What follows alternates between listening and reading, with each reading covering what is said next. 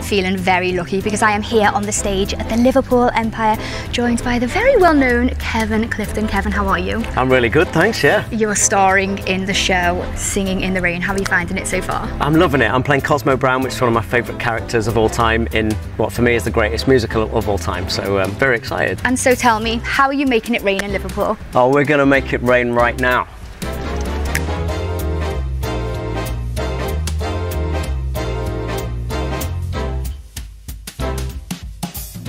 Well, Kevin, you definitely made it rain right there and then. Tell me your secret.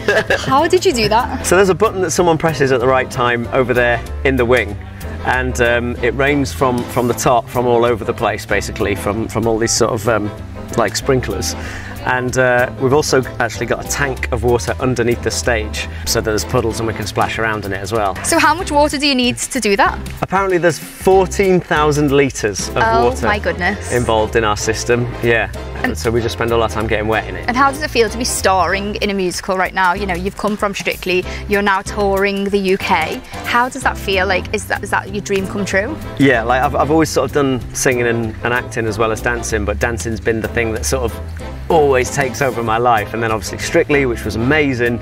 Um, but I, I, wanted to get to a point where I could concentrate more on this stuff. So um, yeah, that time came and, and, Singing in the Rain was just an absolute dream come true to performing. It's funny, in this show in particular, actually the, the singing and acting is the more comfortable stuff for me. The, the dancing's the hardest bit for me in this because it's tap dancing. And I've uh-huh. actually, um, before I did this show, I'd never done any tap dancing in my life.